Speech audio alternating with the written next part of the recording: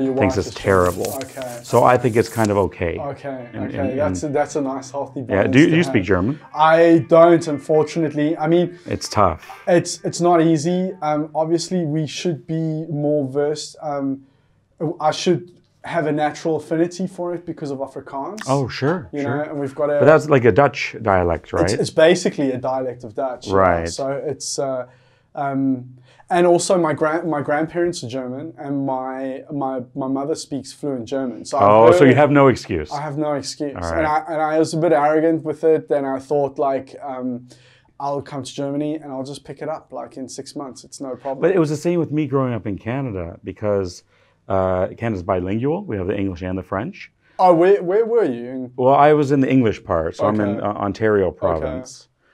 Neil Young? Absolutely. Yes. Yeah, fan. Yes, big time. Ah, yeah, nice, he's, me- nice. he's, he's mega. Yeah, yeah, it's fantastic. Um, but but at the you know a time in school, I'm in like grade eight, and I've got to learn French. I don't want to learn French. Right. I, it just it had no interest for me. Okay, So I took it uh, as required and then dropped it. okay. And you know I, I got like a you know kind of a basic. Do you, you But wish now- now? In hindsight, now I'm a bit older, hopefully a bit more mature. Yes. Um, I wish I learned it Yeah. because it just opens doors. Yes. Having said that, um, uh, maybe I don't know if you've seen this, but there's this technology that they're developing Yes. where you just pop a little earpiece in your ear, and if you're speaking a different language to me, it translates and talks in my ear. That's insane. Yeah, I have seen that. I So- have seen that. Yeah. So no worries. In- yeah. In, a couple of years, we don't need to worry about learning Well, language. like I, I, I don't know if if you if you've heard it, well if you know anything about um, uh, Elon Musk's uh, Neuralink uh, company. I, I did read something about that. It's mad, and I have to say it's something that you know if you'd spoken to me spoken to me about it three years ago, I would have, or even yeah, or, or more, I would have been like, I don't want any part of this shit. Right. But the conversations that he's had around this with multiple different people has kind of opened my mind up a lot to the fact that you know we we will those things will inevitably happen to us you know and obviously we will have a choice but it will get to the point where it makes no sense not to have it you Right. know like for Ho- hopefully, we'll have a choice. well, hope, ho- yeah, hopefully we'll have a choice. But he was like saying, like for example, a language will be a download. It'll be like Exactly, exactly. And then I was like, whoa, that's fucking cool. Yeah. But the other downside is all these people who are language teachers or translators.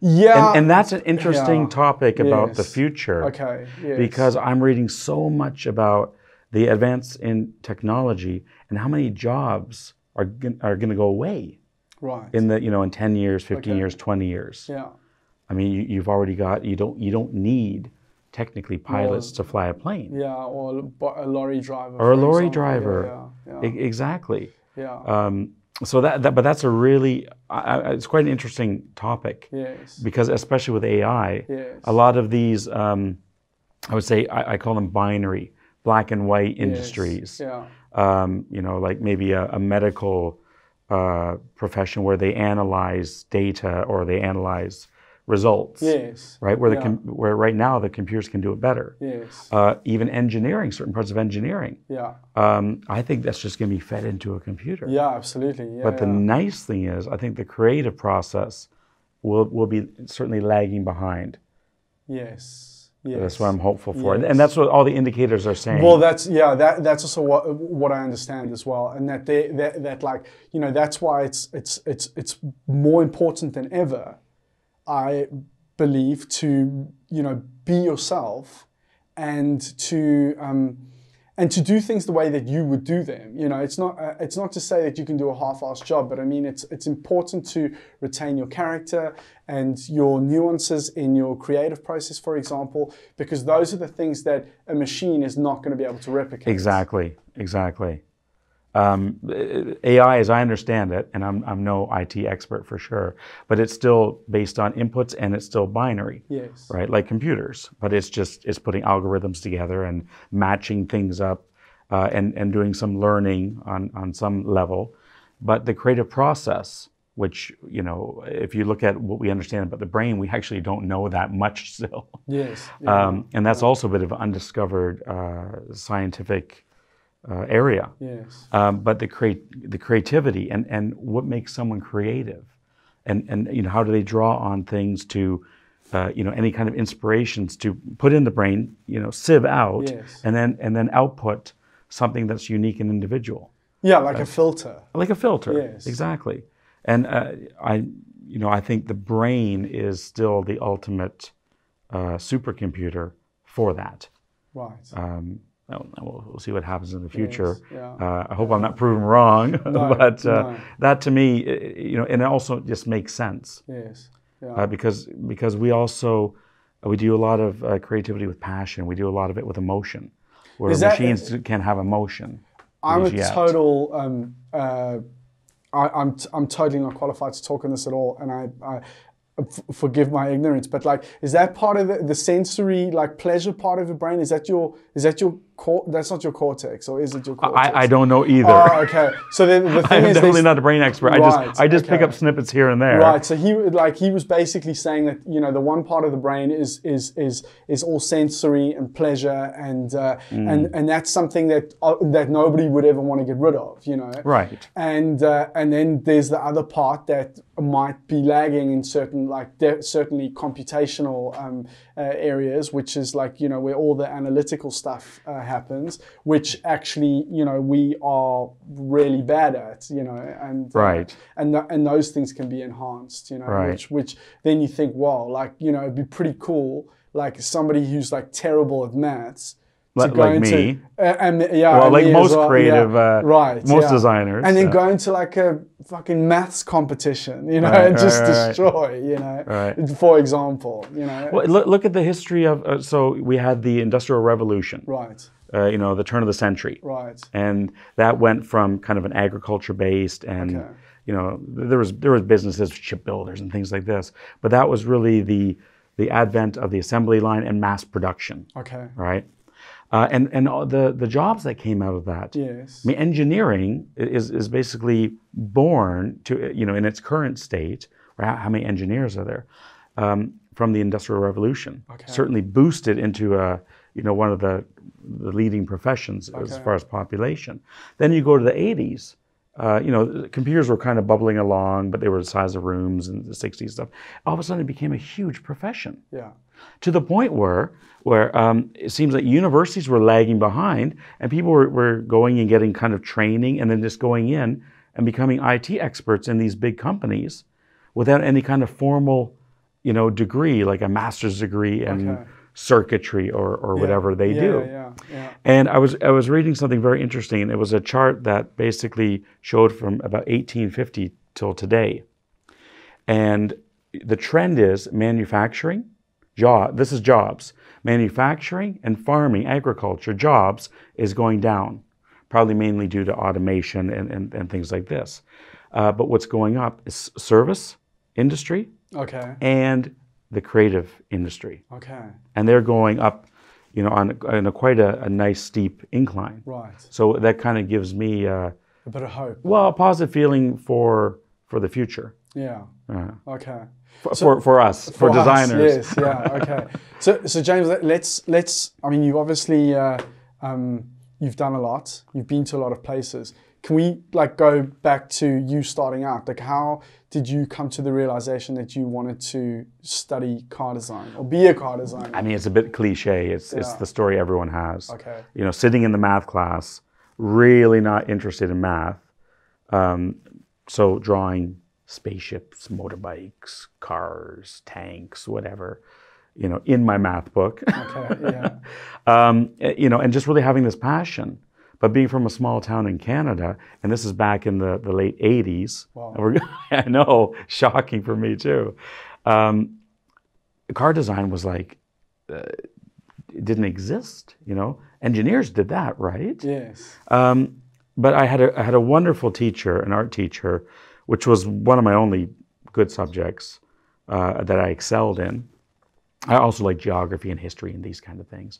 Um, and and he said, you know, you, you you're really talented. What do you want to do? I said, oh, I want to be a car designer, but you know, I So you said that you said you knew that in school, right? You Well, want to be a car yeah, designer. I mean, I, I love cars. You know, I also had the, like the Lamborghinis and posters all on my wall and, and everything. And the second I could get my driver's license, I was out there. Um, and he actually did the research for me. This is my high school teacher, and uh, contacted the GM Institute, which is an engineering institute in Detroit, and they referred to the College for Creative Studies. Okay, CCS. CCS. And make a long story short, I, I worked my ass off, uh, developed a portfolio uh, that summer, and submitted uh, submitted the portfolio to CCS, and I got in. Um, and and I I I heard, uh, I don't have any statistics to back this up, but it does make a little bit of sense. The, the saying was thousands apply, um, 65 get in to the industrial design program. And what you do after the first year is you do a rotation. Okay. You go into a graphics program, interior program, uh, product design, and automotive. Is this on your degree, your undergraduate? This is the first year, so you're it'll be your freshman year uh, Okay. when if you're going by the U.S. Uh. That's what they call the first year in the university. right Okay. freshman. You're freshman. Okay. Um, and then you do these modules, and you have these reviews uh, uh, at the end, and 90% want to go into automotive because that's what the school's famous for. That's what people go there for. 20 get in, Okay. right? Okay. Fast forward, four-year degree, we graduate with 11 through attrition because you'll you'll present every six every semester your work. If they don't like it, you're on probation. Two probations, you're out of the school. Oh wow. It was tough. Wow. It was tough. Uh, four got jobs that year out of the uh, the interviews where the companies came to the school. So who? What were the main companies then? Ford, GM. Ford and no GM had a hiring freeze. Oh wow. Uh, the the industry was really in the in a trough. Um, they they actually came and put a, a notice on the so on this the, was what on the school early wall. early nineties. Yeah. Early, uh, I graduated in '92. Okay. Again, it's going when we used to sketch on paper. Okay. Okay. Um, and no, they actually put a notice saying, you know, we apologize. uh, We have a hiring freeze. We won't be taking any students this year. And they were the biggest. They, they were the, the biggest, right? It was tough. It was really tough. And I guess most of the graduates over there were hoping to get Well- to stay in Detroit, right? Um, no, I wouldn't say so. It was quite international. There was, you know, some people from Detroit, but there was people from everywhere. Okay. Um, the, the good news is, you fast forward. I know, I mean, because it was a small class, Yes. most of them landed quite good jobs, but had to kind of go through a little bit more of a painful process than say I did, uh, being fortunate enough to be selected to go to Ford at that time. Um, but now a lot of them are. One's a chief designer at Ford. Um, you know, another's uh, at, at Chrysler doing very well. So uh, uh, suppliers. Okay. Yeah. um, yeah. Yeah. But you know, but having good careers. okay. So it wasn't just you know, it wasn't the end of the world. Okay. Um, it- but it was a tough time. When did uh, when to ask a technological question? When Uh-oh. When did, no, it's, it's quite simple. When, when did Photoshop come along? Like, I mean, not not when was it invented, but I mean, I imagine that early '90s, you guys were still all you were definitely still doing all the um, uh, like big A2 renders by hand and that sort of thing. chalk and and uh, you know the the, the pastels and the you know the the baby powder to make it Yes, smooth and all. yes, yeah, yeah, yeah. absolutely on paper. Okay. The vellum, Whoa. two sides. Okay, Uh, that's what we did. that's insane. I mean, but that it was it was nice as well. There was this kind of creative energy that you lose a little bit when everyone's you know stuck in front of their computer. the screen, yeah, for Yeah, sure. yeah.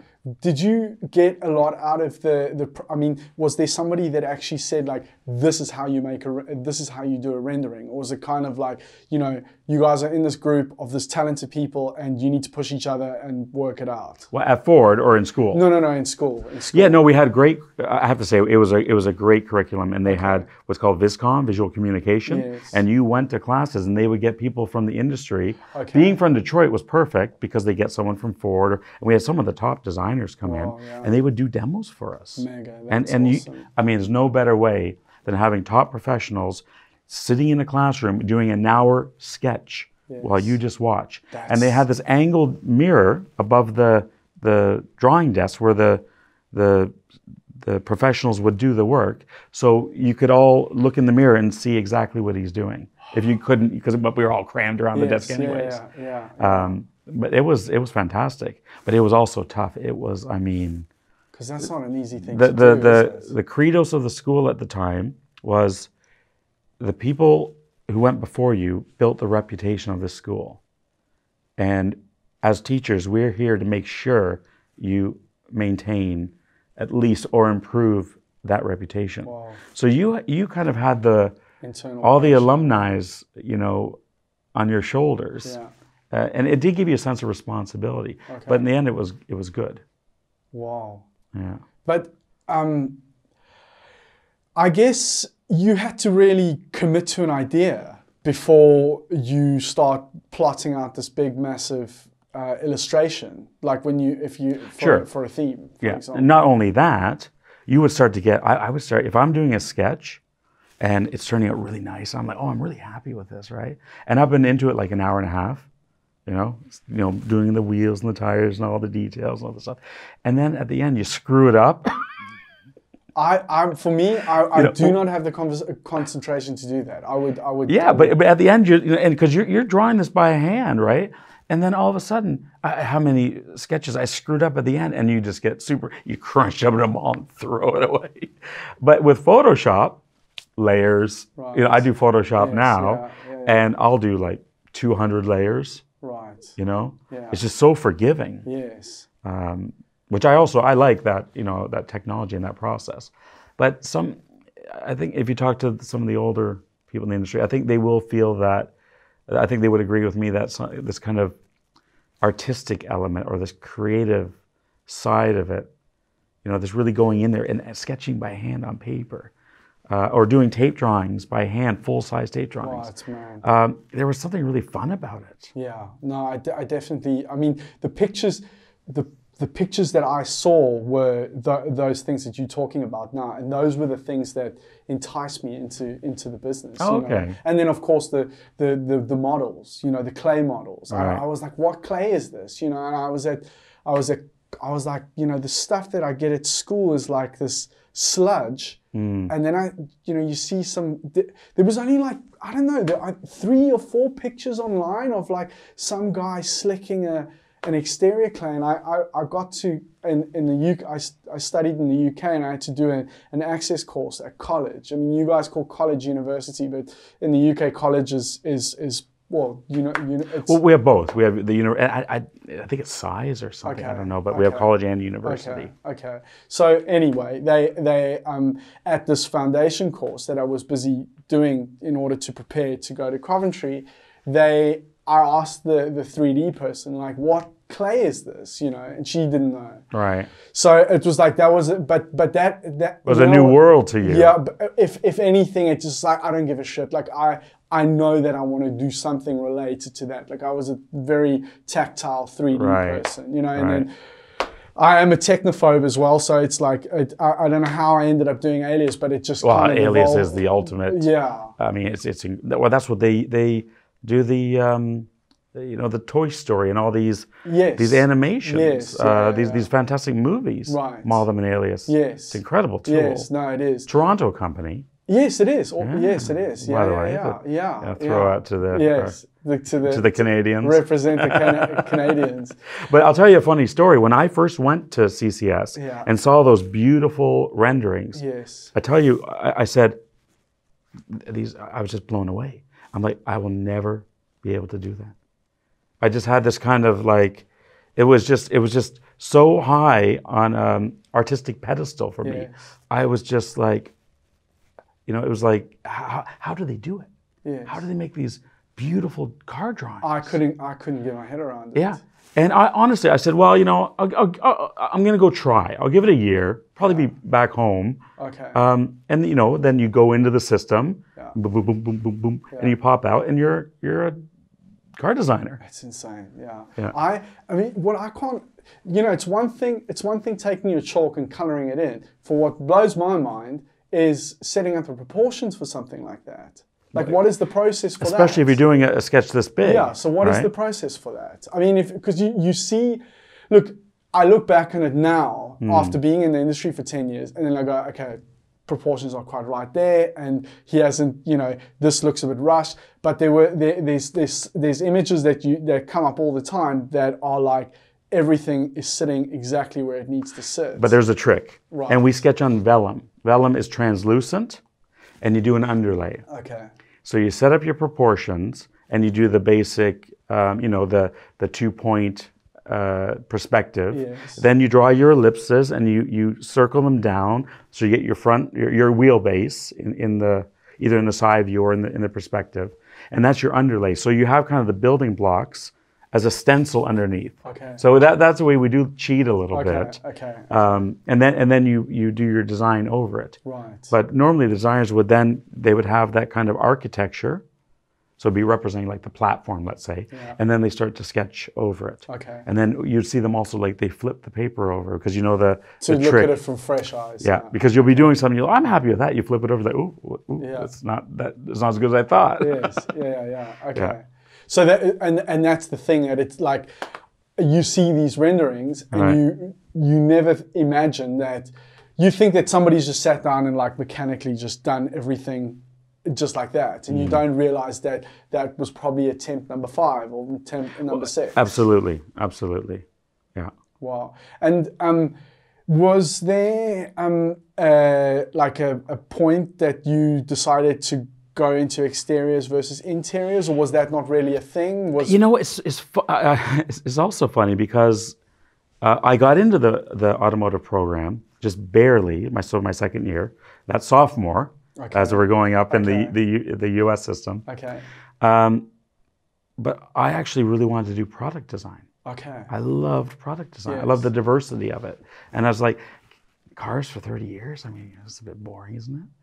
Um, but but because it was rare to get, it was a you know you had a one third chance to get in, and you can always go back to product. I thought, well, best I best I try this, um, and then through my my career, I've worked on both, um, but just uh, maybe through the just through the process of, of starting at Ford, starting the advanced, working on you know some show cars, uh, mostly exterior, um, well actually all exterior and advanced, um, and then going through the different studios, Lincoln and and Truck Studio and, and things like this. Um, I was always on exterior. Okay.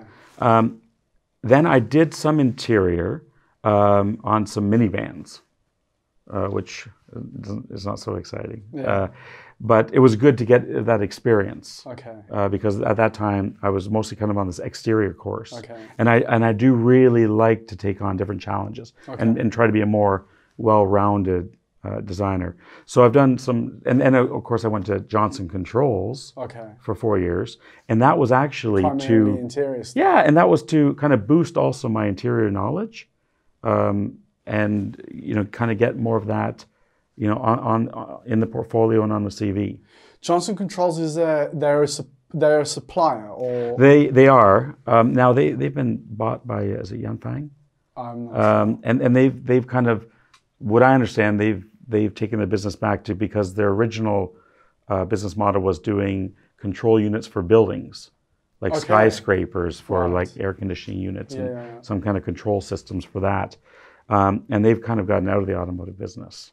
Oh right, okay. Uh, but w- were they were they very much involved in? Because I've seen I've seen um, I'm pretty sure it was them uh, doing like a um, not a fair, but um, they were showcasing some of their products. And is it is it mainly like um, uh, like IP tubs and stuff like that, or, or no, actual- well, it's act- so if, if you go uh, to like Frankfurt or Geneva or, or Paris, which are closed now, um, they'll they'll have a booth, and normally it's invite only. But when I was there, most of their booth is like uh, seat mechanisms, okay. or you know that, that that's where they make their business. Okay. So um, you know the the I'd say the bean counters in the company are really looking at getting you know solid business. So they're looking at like seat frames and Okay. and things like this. Not very exciting for designers. okay. But I was fortunate enough to be working with the um, in, in the design department as the as the leading innovation. Okay. Uh, and we did a project called Sensory. Now, this is going back 2003, 2000, 2002, 2003 Okay. time frame. And what we what we did was we said we did a big a, a big research Yeah. Uh, figure like 90% of your driving uh, sensory is visual. Okay. Makes sense. Yes. But how can you redistribute that?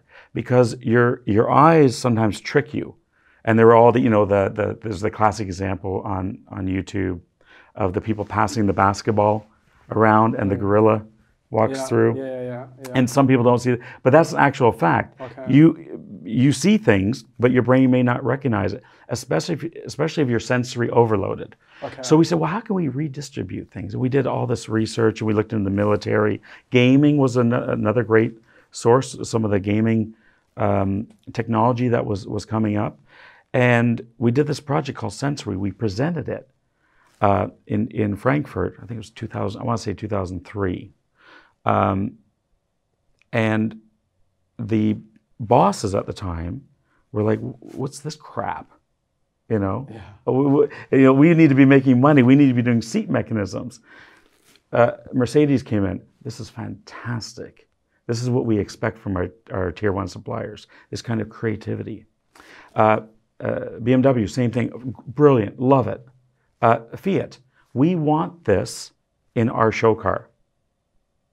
So uh, I went down with a couple, a couple people to Torino for six months and worked with the fantastic uh, experience, by the way, worked with the uh, Fiat design team to integrate these concepts into the Trepiuno, which became the was was the show car for the Fiat 500. oh wow. Yeah, and it, it was just like, and it, but it was really funny because on one hand, um, you know, some people in the company are like, "Why are we doing all this fluffy, you know, crap when you know we, we really need to get some nuts and bolts and get some business and and this everything else?" But the the the OEMs were like really really positive about it. Wow. So it was it was it was a really interesting experience. Awesome.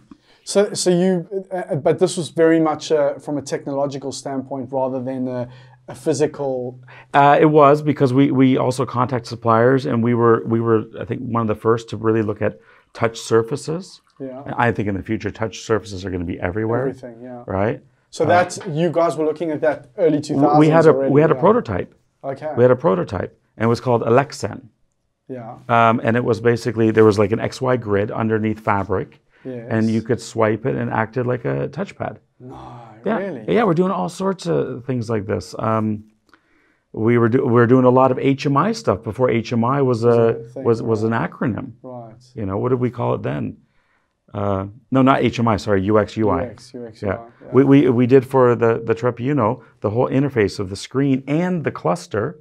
And the idea was to give the car like a bit of personality. Okay. So when you turned it on, like the, the, the gasoline level and the oil would just kind of like bobble around and then Yeah, settle down. things like Animation. Yeah. If you're going too fast, it could warn you if you want to, you know, it, it was, it, it came to life. Okay. Now that's everywhere. There, that was, that was new stuff. Wow. You know, that was that was that was a long time ago. That was Did 16, you 17 did you not ago. feel out of like out of your depths at all with with that? I did because a lot of the stuff we did, they're like, uh, you know, the the other groups were like, well, that's that's 20, 25 years out. Okay. Ironically, 10 years later, um, like for example, we did um, what's what was called the Stau car, Yeah. which was basically adaptive cruise control, Okay. right? Oh, that's 20 years out. 10 years later, it's in production. Wow. You know, we did a lot of with um, augmented reality. So um, basically, your screen, your your windscreen, or some indicator as you're looking through it, also acts as a display. And maybe you need to take an exit, and it flashes the exit, and the exit's in real time through your windscreen. And but it's it's indicating to you visually um, or you know where things are. You want to go to a McDonald's or, or whatever. Oh, there's one here. There's one here. But showing you physically, and also directions, navigation directly in 3D, floating in front, you know, like heads up, Yeah. but to the next level, Okay. and link with telematics and stuff. We were doing all this stuff, Whoa. and it was it was really pioneering stuff at the time. So it was fun. But other people in the company, uh, let's say, saw it as uh, maybe didn't see a strong business case, or saw it was was maybe not not realistic. Okay. Um, so uh, it uh, it kind of fizzled out. Okay. and then and then I fizzled out out of the company. Right, and that, so so that so that all came to an end, and then and then is that when you branched out on your own? or- That's right. So I, I, I worked with a partner, um, and we started a consultancy, and it went it went actually really well, um, considering. And um, So uh, was this where we? Sorry, where are you based now? so I was um, I was kind of floating around because I just had my laptop and I could be anywhere. And I spent some time snowboarding in, in Switzerland when I could, but I was kind of like on this um, kind of ro- I was kind of a nomad. Yeah. right? But I could just, and that's the other, that's the beauty about technology today. I have my laptop, I could do the sketches, Yeah. and I could just pop it up and, and, and go. So I, I was in um, Brazil Yeah. for, um, was it two, two months? Okay. Um, yeah, I was, I was having a great time. Yeah. Um, but the company was, was based in, in England Okay. um, as, as an entity, as, a, Okay. as a legal entity. Um, but we, we were doing, we did some, it was prim, primarily sketch work and, you know, some modeling, uh, digital modeling, but um, one, one project went to a full size and, and a prototype, Okay. which was a, a nice 650 horsepower mid-engine supercar. right. We did for an English company that unfortunately never, never saw the light of day Okay. like many projects don't.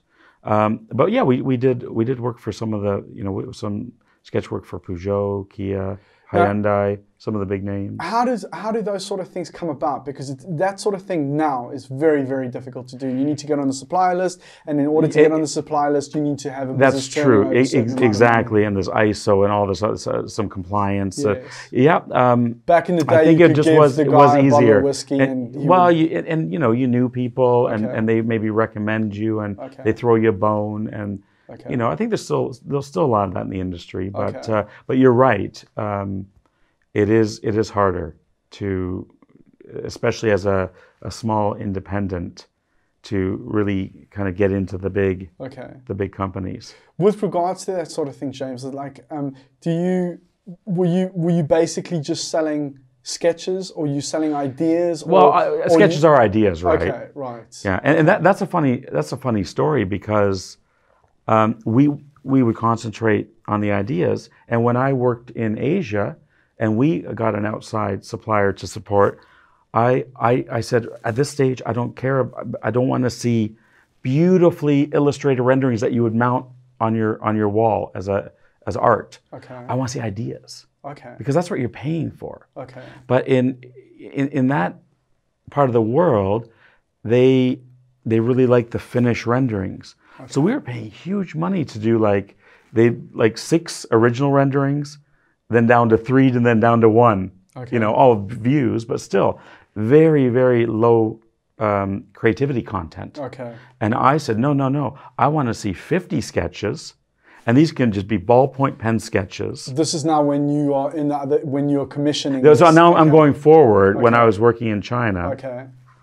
and we were commissioning outside studios. Okay. Okay. And because they were used to working with China, they would do these labor-intensive, beautiful renderings. Mm. But but that's not the point. The point is, um, you want to generate, you want to see ideas, Okay. right? As a as a the person working on a design project, I want I want to see ideas. Okay. I can adapt. Yes. Um, so I, I kind of try to put that, but it was it was tough to change uh, because the bosses there like to see the finished. Okay. You know, they want to see the car before it becomes a car. Okay. Right? Yeah. Yeah. Yeah. yeah. Um, and where designers can, as you know, can quickly look at a ballpoint pen sketch, a little uh, doodle, and say, "Yeah, you know what? That there's something there. We can develop that. we can do something. That's going to be that, yeah. fantastic." Okay. Okay. Yeah. And um, so, what was I going to say? Um, you've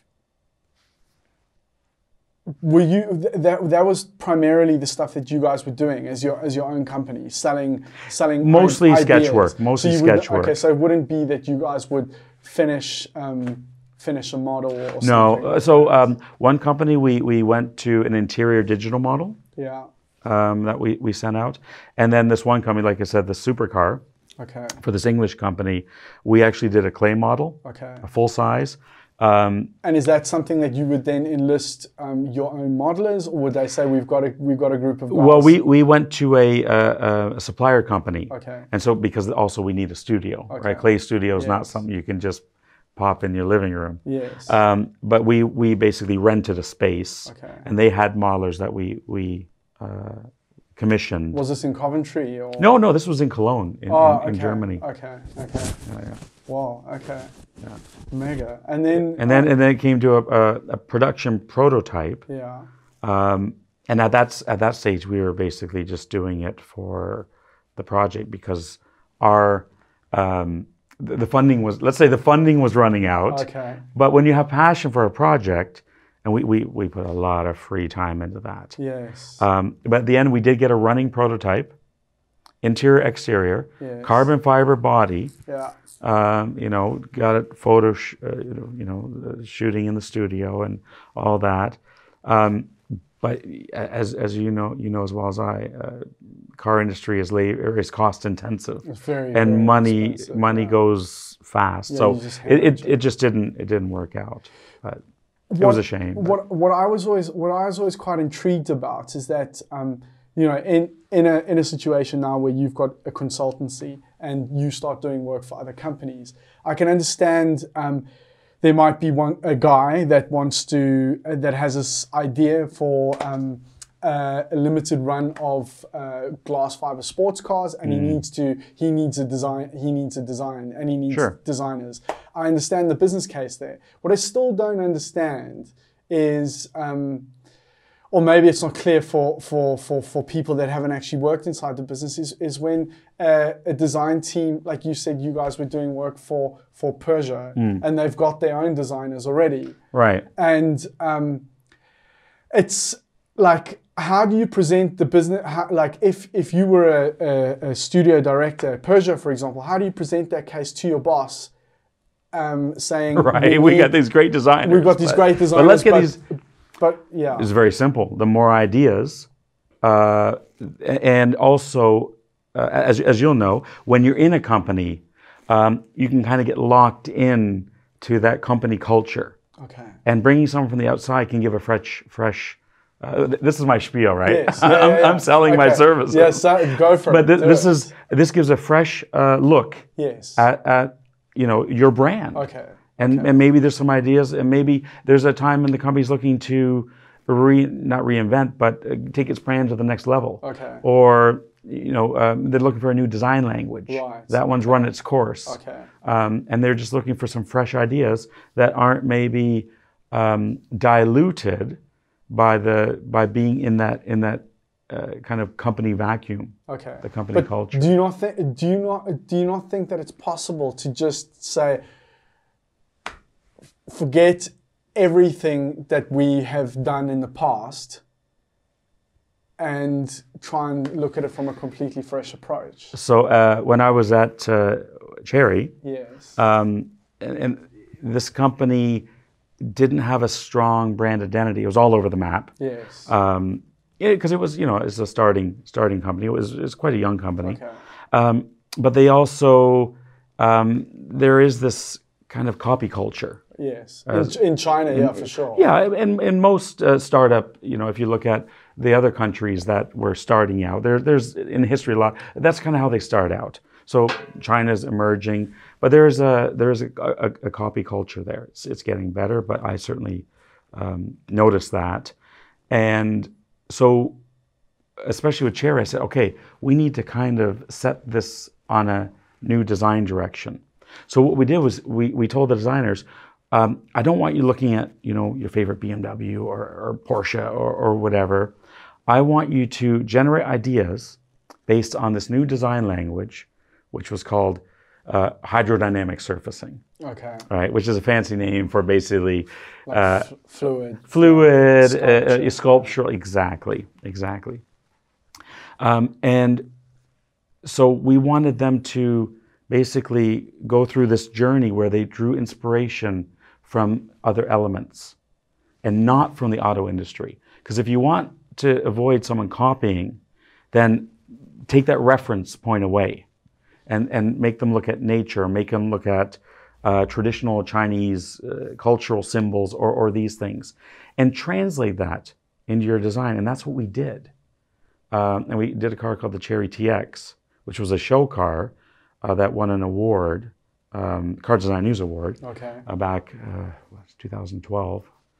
And we, we brought that to production. Yes. And the thing is, um, there was because what you'll do in market research, if you show a in China, the, all the the people in the market research are trying to figure out what car you copied. Oh, that looks like a Ford to me, or that looks like this or that. And, Yeah, yeah, and in this one, they're like, oh, that that looks quite original. Okay.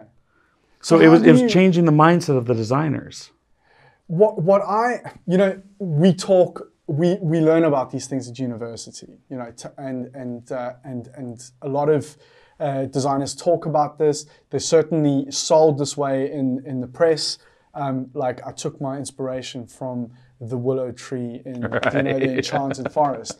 But the thing is like at some point there needs to be a level of credibility with the connection to the automotive uh, form language Absolutely. and and that's very much where like you know sometimes it's not an easy thing to to to truly get right is it Absolutely. So what you're doing is you're doing all this inspirational work, and then you've got to bridge it back to an actual viable product. okay Right. yes Um, and and we we were able to do that. Um, I'll, I'll give you an example. There's a there's a body side sculpture, which is basically a kind of parabolic shape, yes um, and that was kind of derived from when a ship or a duck or whatever is going through the water and creates the wake. yes Right. okay Um, and if you look at nature as well, uh, if you look at like for example tree branch or even the human body, um, it's it's proportionally segmented. okay So as, as your arm goes out, it gets smaller, but there's a certain proportion, a mathematical proportion based on that. And there's a thing called arithmetic progression, okay which is basically how how nature builds. yeah And we looked at all this, wow you know, and it, it's basically, you know, you also know the golden mean or the golden rule. yes, This, yeah, golden the- ratio the- yeah, yeah. But if you look at like a snail shell, okay that is an that is a, a arithmetic progression.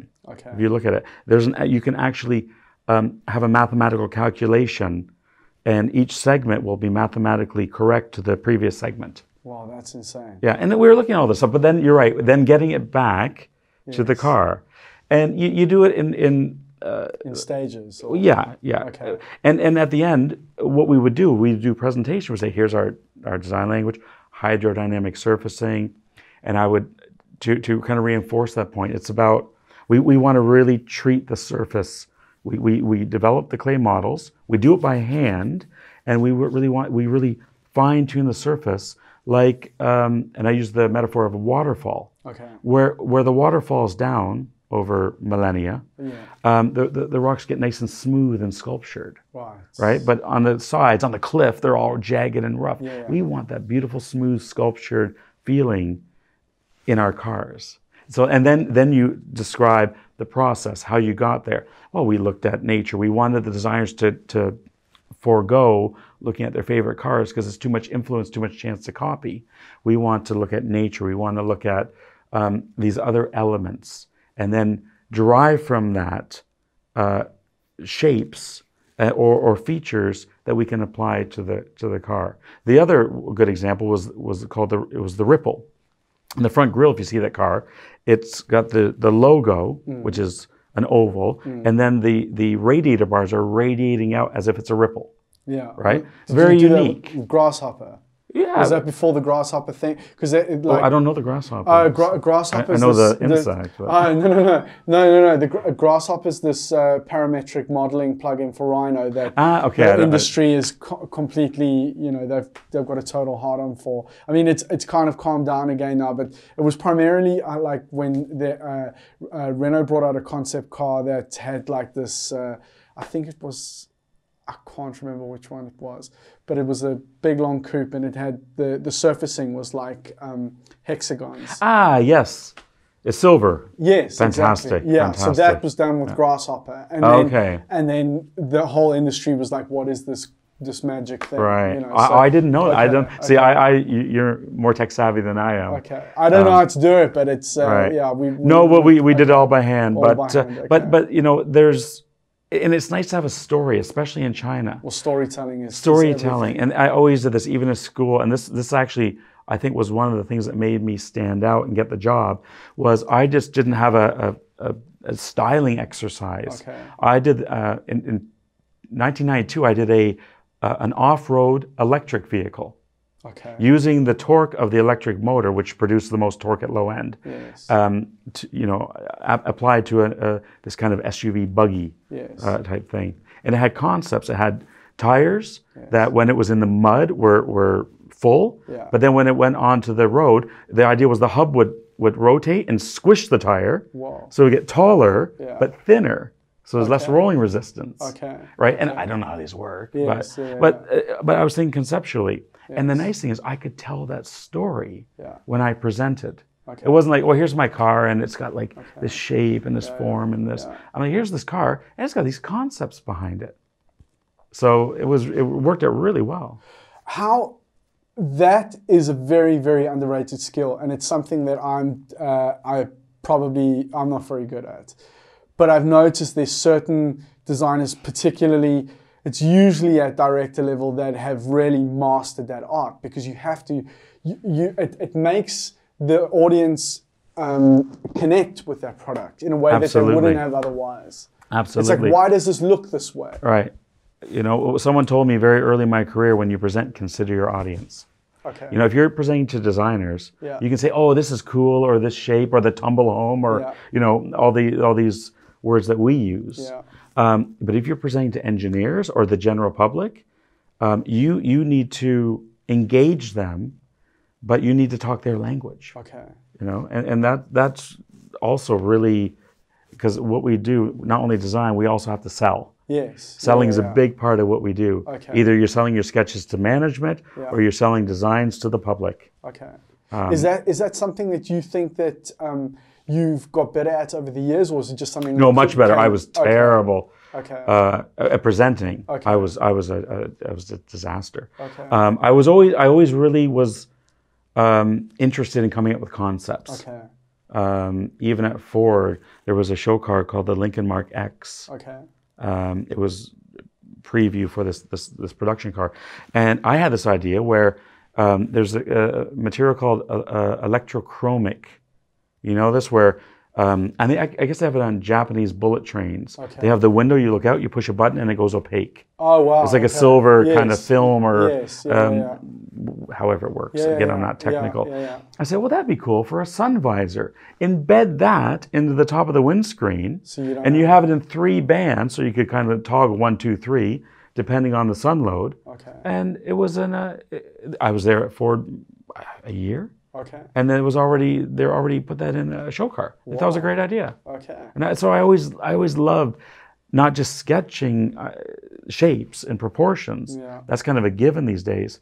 But what's the what's the reason behind this vehicle? What are the concepts? What's new about this? Okay. What's making this from a styling exercise into a design exercise? Okay.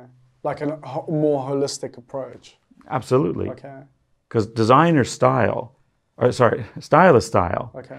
I think designers problem solve Okay. and, and, and innovate. okay.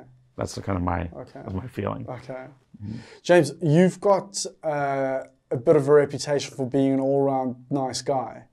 and uh, at least from the people that I've spoken to, and obviously I met. Not not not with everyone, I can assure. Well, but, okay. but that's nice to hear. Okay, but but I, I I've I, I don't know your, your name's come up a few times and I've never heard any any any bad things spoken that's about nice you. in particular, you've been quite. I, I, uh, as as I as as you know, I spoke to Alan last week and uh, he was Right. your former um, uh, employee or um, Show in- car expert. show car expert.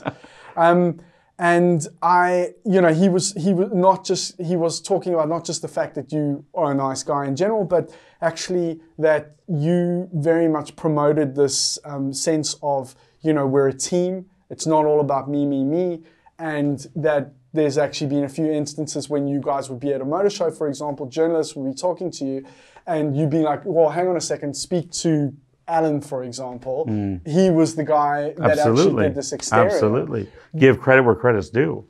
That's not a common thing in our business, and I, I wonder like No, I think it should be.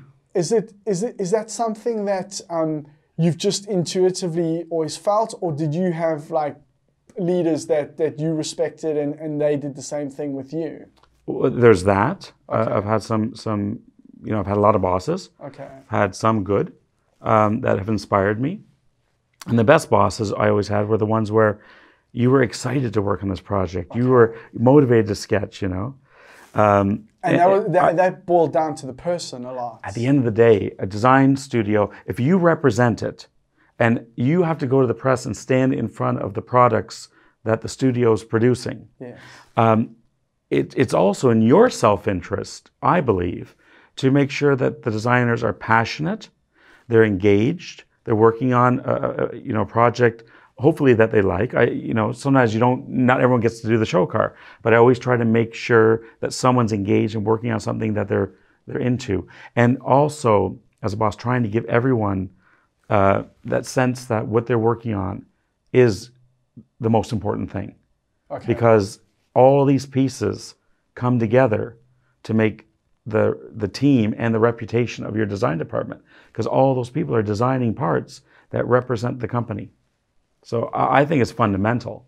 There's no point in having the greatest design uh, studio in the world if people don't want to go to work or aren't passionate or uh, you don't enjoy what they're doing um, this, th- I mean, this is to me is is quite clear. I, it's it's, But- it's super clear to me as well. But I, but I, I've also had my challenges where it hasn't been that way. Sure, sure, of course. yeah, yeah, yeah. That's um, but that that's a really mature outlook to have, and I wonder as well if that's probably because you've also had your time to shine in the past. That you, Well, this is it as well. I've been really fortunate in my career. I have bounced around a lot. Uh, I always enjoy new challenges, new things, new cultures, new experiences. Um, but I, I also feel like I've I've done more than I ever dreamed as that young boy going to school and saying I never I will never be able to do that. So I just feel like um, I also I, I want to give that uh, back a little bit. My my role was to ensure that designers had the the necessary resources um, and support from the leadership to do the job to the expectation, which was high. Um, and I was there to, you know, I put, I put a lot of cars together to, to kind of bump them. You know, you know, they're a pinball going around, and, and if they're gonna go, go into the hole, I, I give them a little bit of a paddle. Okay, And not not in a bad way, in a good Yeah, way, in a yeah, yeah. motivational, uh, or or there's a, a technical issue. okay, Um, you know, we were they were they were loading these. I, I came by the designer once, and he was working on the Alias model, and they were pushing all the headlamp uh, componentry inside uh, towards the the center of the car, and you know, you want everything to look as wide as possible. I said, well, "What are you doing?" So, oh, the engineers, you can't you can't load the bezel. You can't load from how you know you know how lamp goes, but for the you have the lamp and you got the bezel, and they have to come together. yes, And normally it's a load from behind okay, uh, rotational load. They're like, what?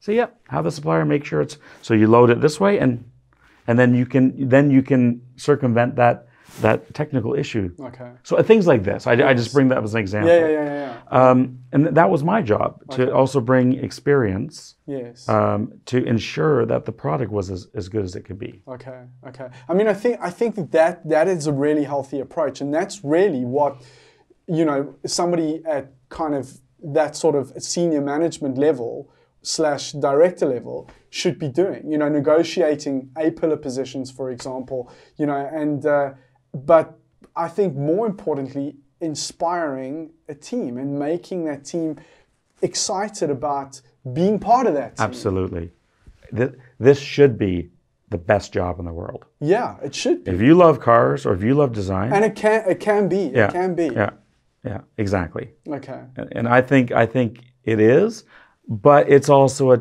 tough job. It's you know you have deadlines, you have egos, uh, you have you know there's a lot of you know, uh, challenges for sure as well Okay. um, in, in in in design in general. I think, Yes. but without passion, it doesn't work in, in my my view. What um would you say that you are? I mean, you you said said earlier on that you're happy with you know you did things that you never dreamed of doing. Do you think that um, getting to the level that you've done, like when I say that, I mean at, at sort of director level, you, would you say that that was very much um, the the the reason for you being able to do as many things as you could have done, or do you wish at times that you had maybe not pursued those sort of executive level positions and remained more creatively hands on? Uh, no, I think um, as a as a designer, you also notice you've got a shelf life. Um, mo- most um, when I see the kids coming out of school, I'm like, oh, oh, oh they're really good, right? right. I'm like, Okay. maybe I'm, I'm I'm glad I'm not sketching anymore, Okay. competing with this talent. Okay. Um, and, and I think at a, at a certain stage, maybe you need to consider um, you're not going to win um, all the the design contest. Okay. When I first went to Ford, I was I was winning projects. I was winning contests. So it is like in that sort of culture, it's very much a competition. It's Absolutely. we're sketching for this. You're put all your put all your absolutely, on the wall. yeah. You put them all up. You present, and at the end of the day, someone's going to pick one of the sketches to go as a theme. You want it to be yours. Okay. right? Um, but as as you start losing more and more, you start to realize, well, you know what? Um, the next generation, maybe they have the fresher ideas, but I can bring experience. I can bring hopefully leadership or, or these other um, parts of of the the design environment, the, Okay. the design studio environment, to to the mix. So for me, it was kind of a natural progression. Okay. But I did try to kind of hang on to the creative Okay. for as long as I could because that's where I, I that's what I really enjoyed. Do you feel that you ever compromise yourself from a, from a personal standpoint to to achieve certain things that you? I, I don't think so. Okay. I don't think so. It's something integrity is something incredibly important to me. Okay. Um, I've probably suffered Okay. for Because not compromising. Okay. Okay. but you know there's certain principles i could tell you stories where um, the engineers were saying there's a famous I, I won't go into the company stuff but there was um, a gap condition just a simple gap condition but i wanted this product to have the best quality and considering the the requirements of the company um, and they had this kind of uh, best practice uh, situation. They they said it has to be like this, and I said, well, no. If you if you make the headlamp above the the metal, ah, but there's a parting line on the headlamp, and you could they get sharp, or you can see it and everything. And so there was this back and forth, and I literally thought I might lose my job over it. Okay. Um, but at the end, we found a solution that became a patented solution, Okay. and we were able to to get the the really nice tight uh, execution Okay. that that made the and, and it's funny because at the end we we milled out two sides of a hard model Right. and we said here's the here's the required solution and here's the design solution Okay. and when they saw the required solution they were shocked and they said we can't do that I said well that that's your best practice Okay. Uh, and best practice doesn't work every time for every situation Okay. so that's a I won't mention the company, Okay, but okay, sure. that's one example. But I tell you one thing, I, I I was stirring up, and I probably took it too far. But also, when you work on something for two or three years, Yeah. you know, and then all of a sudden you feel someone comes up and they're they're gonna screw it up, Yes. Yeah. Yeah. Yeah. and it's a quality issue. It's not even a, a subjective design issue. yes. Yeah. I, I I I fight for these things. Okay. I fight for the product Okay. uh, because I want the best product, and the best product Okay. is is, is normally uh, best for the company. But you need But maybe be I push it too hard sometimes. But you need to be informed to be able to have these conversations, to be able to have these these these, for lack of a better term. well, the unfortunate thing, I, I knew I was right. Okay. You know, that, that was the that was the the Okay. The downside. Okay. Right. Okay. I didn't have to prove anything. I knew our solution was the better solution. Okay. Okay. Um, And at the end, that's the one that went to production. They ad- abandoned that. Okay. They actually changed the best practice Okay. and they adopted the design solution. Okay, so the moral of that is like you know stick to believe like believe in uh, maintain what you believe in and maintain your integrity. Absolutely, Okay, absolutely. I think in, integrity in this business is, Okay. is is super, especially right now. Okay. Especially right now. And also, um, but I actually, I mean that's one that's one end of it, and then the other th- the other end of it is is uh, is your team. You know that that obviously you've you've you've worked hard to kind of look after over the years. The, I mean, I know there's been multiple um, teams that you've led. Um, was wa- again was that was that more through examples that you had seen, or um, you just wanted to you you I read a lot of books. okay you know, and I, I, I read a lot of books. And it's funny because you were talking, I, I, I saw a note that you meant about this start with why. okay yes Yeah, yes I've read yes, that. yes. okay Uh, and Yes. and I, a lot of books. And I, I just kind of also from this this is my Simon this is my process. What I do is I'll I'll take things from my experience, people who I work for who I really uh, admired and, and really motivated me. Okay. Um, but then I'll also read a lot of books, and I just bring it all together, Mm. and then kind of kind of create my own uh, methodology. okay Um, okay but but also my method would, is something that you could read. You, you see all the time on LinkedIn stuff. Um, uh, you know, kind of good boss, bad boss, or, or whatever. You know, yeah yeah and I try to I try to think. Well, you know, I I'm I think I was maybe more the good boss. okay Not everywhere, you know. Okay. But, uh, Yeah, you yeah, know, yeah. that's that's the goal. right okay Um, and, and you're also dealing with different personalities. Right. Not everyone's the same. Not everyone's a robot. You have some people that need to be really looked after and coddled, Okay. and you have you, you have others that need a bit of a kick, yes right? okay And you've got to psychologically deal with all those personalities. yeah that's not You know, someone might not respect you for uh, your your your method, so you have to you have to really then kind of nuance your way Okay. into their personality. And it, the nice thing is you can do it because design is typically a small team in the grand scheme of an automotive company. Um, but it, it takes a huge amount of energy uh, and work to basically uh, treat people as individuals. But it also gives you so much back. It's really uh, powerful the, the the effect that you have. okay And, and at the end, when I was in China, China has a, a very high attrition rate. yeah of course And people just bounce if you know if they get five percent more, they're they're gone, okay right? Um, I had the best attrition rate, meaning least leaving of Okay. any department in the company. I had uh, one year I had like think it was 1.2. I don't know how they came up with 1.2 okay. statistically, Okay. but I had uh, you know very very low um, attrition rate. Wow. Yeah. Well, that's yeah, that's awesome, James. Um, I think on that we'll probably call it a day. Right. But- or I'll just keep talking the whole No, time. but no, that I mean that was uh, uh, it uh, was it was really good to speak to you, and it was really nice to be able to speak to somebody at your level and give your perspective on on uh, on you know things that the way that you've done things, and, Right. and uh, yeah, so it was it was an absolute pleasure. Well, I, I appreciate the invitation. Thank you very Thank much. Thank you for having me. Okay. Yeah, yeah. All right. So Cheers. yeah, that's it. Okay. Thank you very much. That was that was really interesting. I, And we didn't uh, even get into the, the future of mobility.